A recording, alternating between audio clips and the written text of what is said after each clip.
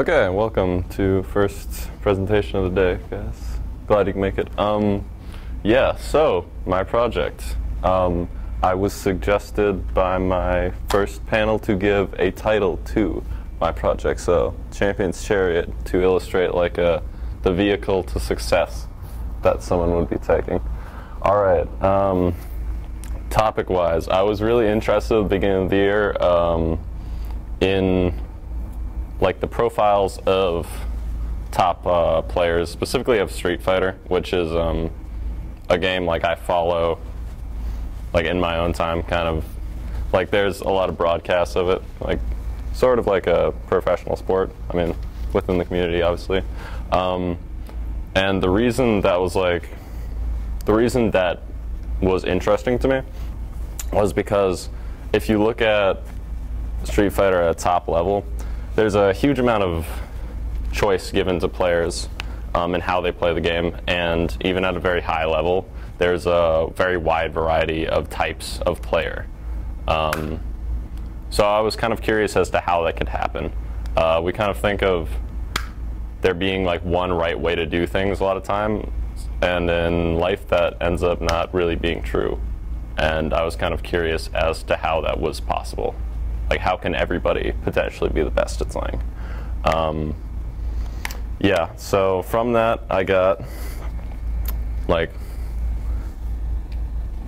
my conclusion from most of my research was like the thing or what I thought was going to be was the thing that separates good players from great players um, is like the ability to apply oneself in a situation very well, um, like taking into account like uh, with an understanding of someone's skill set and someone's talents.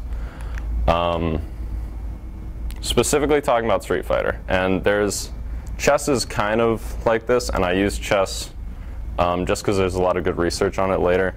Um, but in Street Fighter, uh, there's a lot of ways to approach things. I said that, but like what that means is you can you can play the game with a lot of like scientific type knowledge on it, or, or just pick up like what works. Um, you can play with a very aggressive bent or very defensive bent, like depending on really what you enjoy. Like what you enjoy dictates how you can play the game or how you want to play the game. Um, you can't really play it perfectly is the next thing.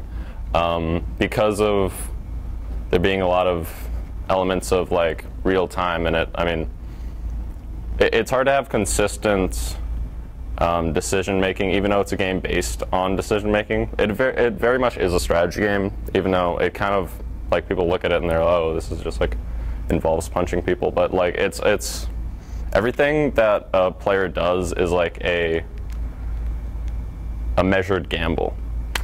But um, you can't play a perfect game, so what you want to instead is play a good game. And what, what a good game is can be different for different people. Um, and finally, and pretty importantly, the rules in a game like that, the rules in a video game, are not explicitly given to you. You kind of have to figure them out by either experimentation or um, very precise analysis of game footage using like um, usually done by like decompiling the game and doing a lot of like sophisticated hacking to obtain uh, quantitative or qualitative information on like how move properties and stuff like that.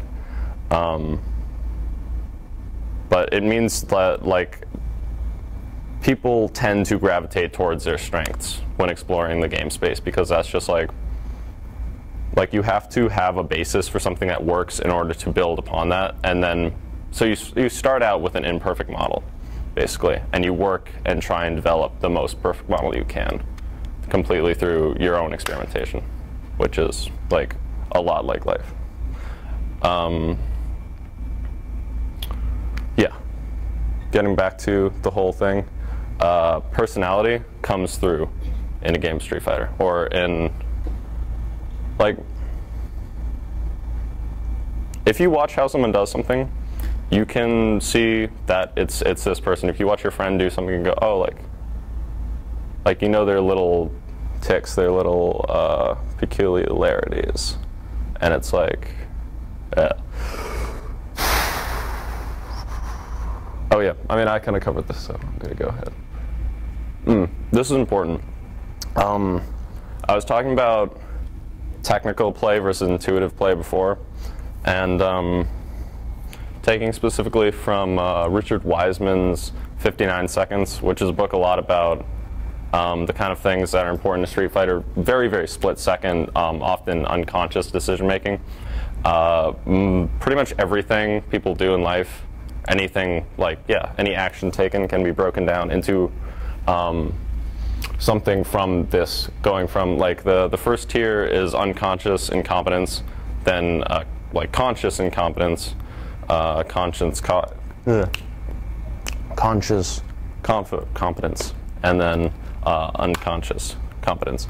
And the reason like so basically as a rule um, the reason like unconscious uh, competence is superior to conscious competence in most situations is that um, the unconscious version kind of it, it's the most refined version of so someone develops a very good game plan and they want to basically forget that game plan. Um, josh uh, Waitzkin calls it numbers to forget numbers. You you want to basically teach your unconscious mind how to do the thing you want to do. Um, and it, that eliminates uh, all this extra thinking that goes on, um, margin for error. If you think about the, uh, is it like a juggling proverb, like the second you think about the ball is when you drop it?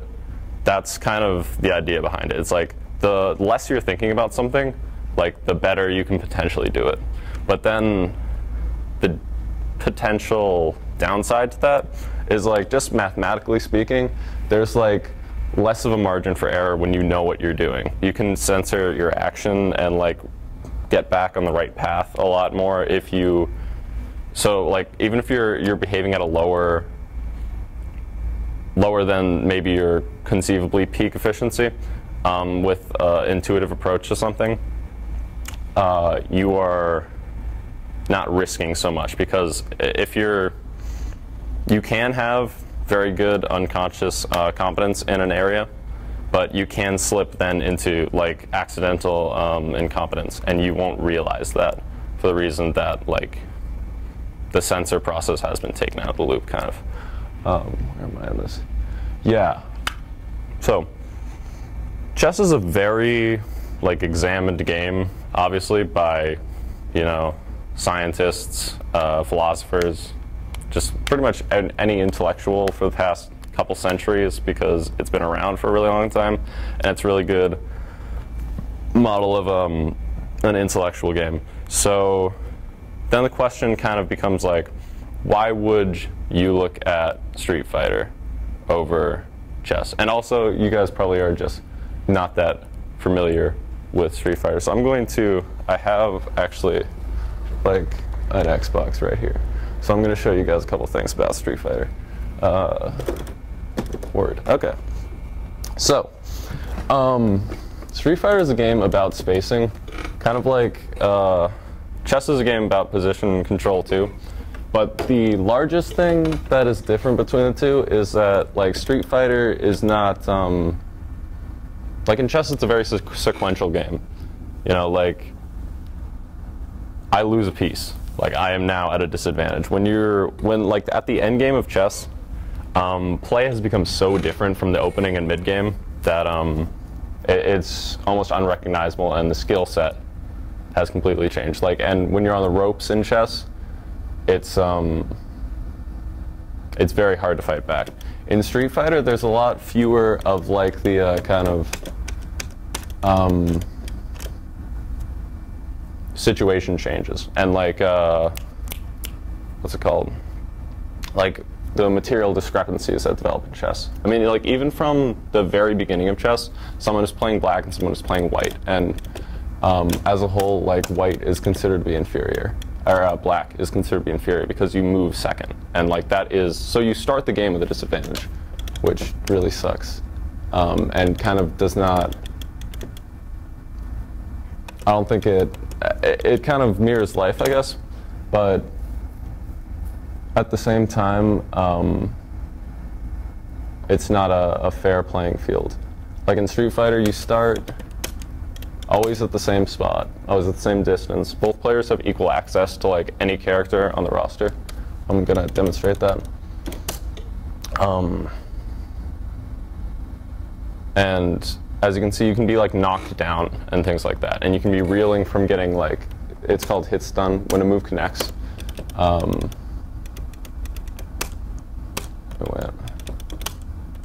um, then you have to like sit there for a little bit, but then the game resets and you're not, um, you haven't like lost a piece and now like lost capacity to play the game. Um, so then Street Fighter becomes much more about uh, patterns. Actually, um, so as I said, like certain distances give you the ability to, to do certain things and to make tactical threats from those distances. Um, and that, so the, the game Street Fighter is mix-up based. It's like rock, paper, scissors, where there are typically three options, um, each that counters the other with uh, unbalanced rewards, so it's not exactly like rock, paper, scissors. But when I'm at like this distance, pretty much, um, or what? Yeah. Okay, so if I'm just like sitting at this distance against character like this, um, this is like one very, this is a, this move, basically, even if it's blocked, um, gives me an advantage because special moves, which are moves that are um, executed with like a sophisticated series of input, uh, give you uh, super meter, which is sort of a four-dimensional measure of your success. Um, like so, you basically build that up by doing things in that the game considers good in the match. But like, so even if this gets blocked, I still like it's still a successful thing for me. So this is like a fallback. Like I, I can threaten with this regardless what's happening. Um, and if like my opponent knows I'm going to do that, obviously they're going to block it. So, but if I know that they're expecting me to do this, I can just walk up and there are things in Street Fighter called throws, which you can't execute if someone is uh, held in place by um, like the after effect of a punch or like if they block it or if they get hit by it, you can't like hold on. See, like right there, my throw whiffed because um, he was in block stun, and that's like that would be extremely cheap if you could just pin someone down and throw them. But the reason throws exist is to uh, stop people from just blocking all the time, and to give like the golden rule of Street Fighter is if you know someone has, if they're going to take a certain course of action, then you're going to be able to prevent it by doing something. Um, so then he could counter like that the, the throw by inputting his own command to break the throw. Um, or by doing like a reversal move. There are moves in Street Fighter that kind of just go through everything and have like a lot of frames of what people call priority, um, which they, they usually do a lot of damage. They come out very fast and it can't be interrupted. But the downside is like if I do that, I'm now at like in a humongous uh, like I am in recovery from that for a very long time. So it opens up a lot of opportunity. If you don't connect with that, then you have lost a ton of life, basically. It's a very bad gamble to make.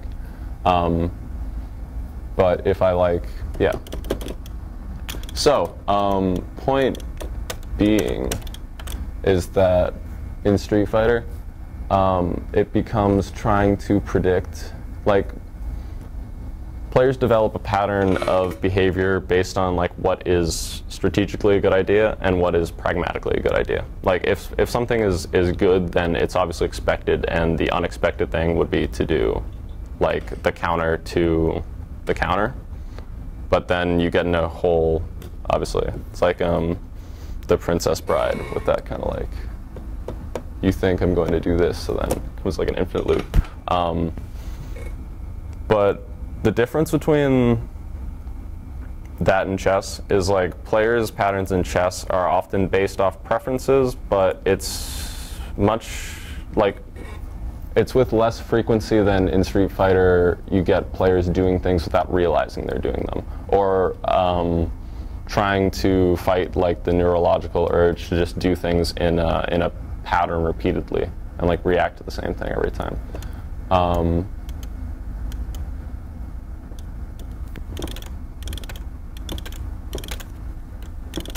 Uh,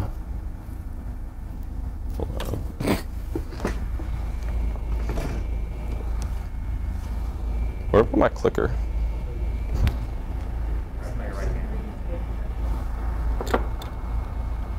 Um, yeah. So. Oh, yeah. My point was basically that in Street Fighter, um, a lot more of the time you're fighting natural urges. Um, and trying to interpret uh, information that may not all be consciously there. The most important thing in Street Fighter is being able to read your opponent, and a lot of that um, has to be based on intuition and on like very large uh, meta patterns that emerge from the game. So like if, yeah, like if someone shows a, what, can I see? Oh, oh, five minutes. Okay, um, okay. Let me go back to my, yes, okay. This is a good example. Okay, so, so getting past that, then the question becomes, okay, what makes someone extremely good at something. Um, in Street Fighter, uh, obviously you guys saw there's like a ton of characters to choose from. So when someone has, if someone does not have good execution, for example, if they cannot input things um, in high tension or just can't input things correctly uh, anyway, they can play a character that will um, accommodate that. Um, so like natural uh, deficiencies become a lot less important. Um, and you see people with bad execution or like not great reactions at, at the top level play, which are like very important skills to the game. But then why are some players like at a plateau and why are some above that? Um, these two players, David Sirlin, who's on the left, and Daigo Umehara, have both written books on Street Fighter and are both um, pretty seasoned players. Like I think they've each been, they were in the competitive scene for over, over a decade. Daigo Umehara is still an active player. Um, and Daigo Umehara is a lot better player than Sirlin. Um, Sirlin ha has a pretty good understanding of the game and stuff. But in terms of, like, his book is called Playing to Win. And in it, he advocates using strategies that are, um, like, whatever works basically, is what he says you should be using. Like if something, if you can do the same move over and over again and you win, then you should be doing that. Daigo Umehara has a completely different philosophy. Um, I've read like they're translated uh, excerpts of his book, which is which the title translates essentially into the willpower to continue to win. Um, and what he says is he doesn't even he he tries to avoid using like what is decided upon by the community as good moves and stuff like that. Um, when he plays a game like Street Fighter, his goal is to learn as much as possible, as opposed to win as much as possible. Like winning, he thinks has to be a side effect of like getting good at something in order to, to gain the most appreciation for something, um, and to like reach a top level of competitive skill. Um, you can see this, like chess is, is very good. And the reason I was looking at Street Fighter um, was because I was trying to draw analogies to other, other, things in life. And so when you can see some of this in chess, it's pretty reassuring. Um, Kasparov is a pretty good player in his own right. Like er, before, he was like a top player. He uh, was a grandmaster um, and the international champion for like uh, a good chunk of years. He was a guy who played Deep Blue, that computer. Um, and the way he got there Uh, he talks about in his book, uh, aptly named "How Chess Imitates Life," um, about how basically he knew he was a good player, and he was like he had a good attacking skill set and like pretty good uh, defensive or um, positional understanding. Um, but he knew he had stuff like a weak end game, and and he would lose against players um, who he was just like playing the hardest he could and not really understand why. And he realized what he had to do to actually win was to um, like take the situation he was in at, at, at any time and say like how can what should I be doing here?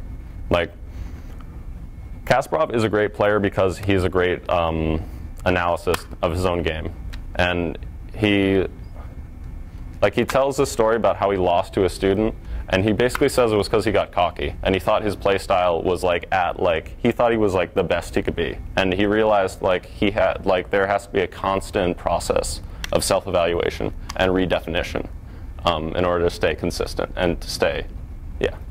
Um, and Josh uh, Waitzkin was he's like a child chess prodigy, and he loved the game. He was very into it for like at, from like age eight to 16.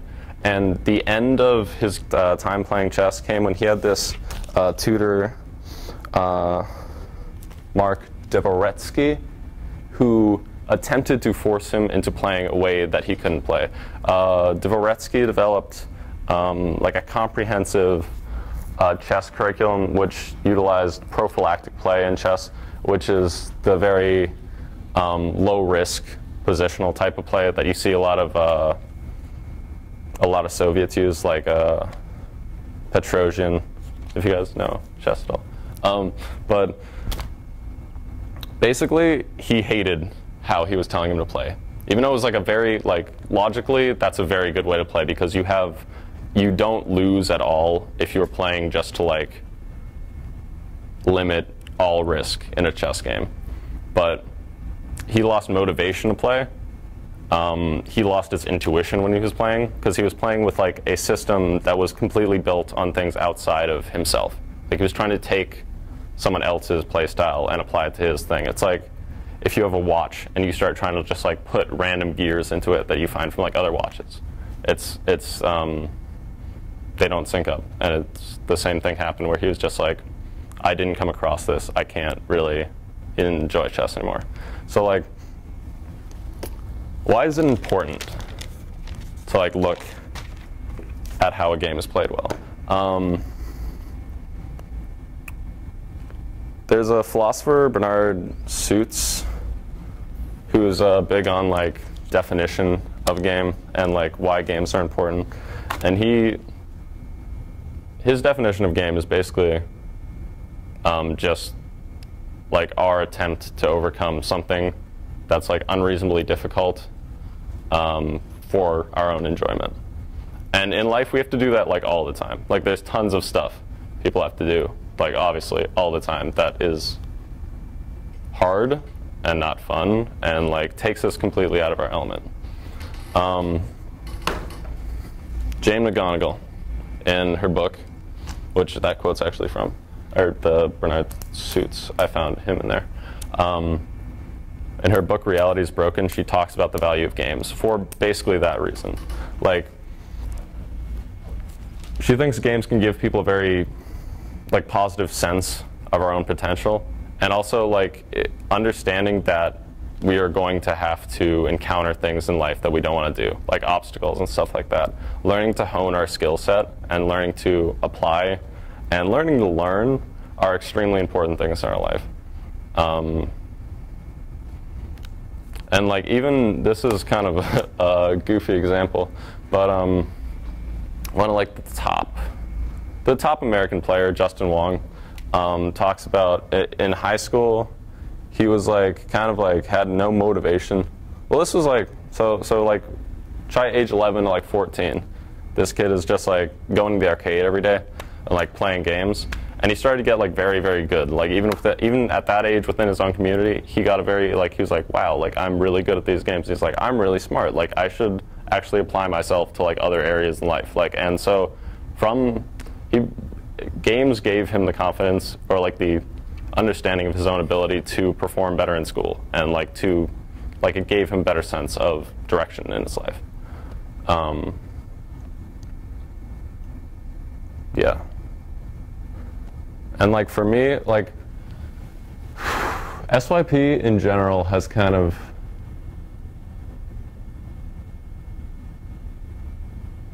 made me think about how important practice is to something and how important applying oneself is. Because I do a lot of, like, I get very into things, but then I don't produce anything. Because it's kind of like, like, I don't like even like improv games, anything like that.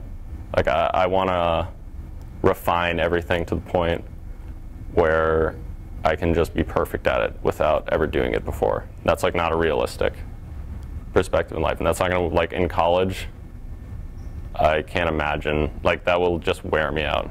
Because I should have like on this project, a lot of my production came down to oh, is it done? Uh, a lot of um, I put off doing things for way too long, and then I had to like stay up for like a week and just like grind it all out. And that's like that's it kind of worked, but it was terrible and unenjoyable. And like, I don't think I developed as much as I could have from SYP and like from, and I don't from things I do. I kind of like do them. I don't, I don't learn, or I don't do to learn. I kind of like do to complete. And like looking at experts at things, I think I need to learn to learn. Uh, questions?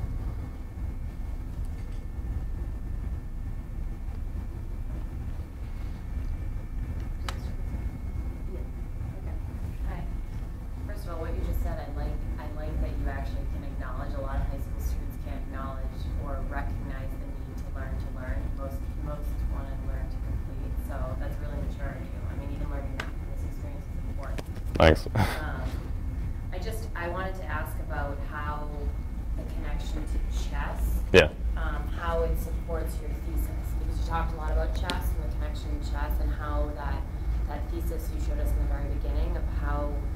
Um, can you just in sort of succinct way tell us how that connection to chess actually supports the thesis or its role in the thesis? Yeah, give me a sec. Let me see.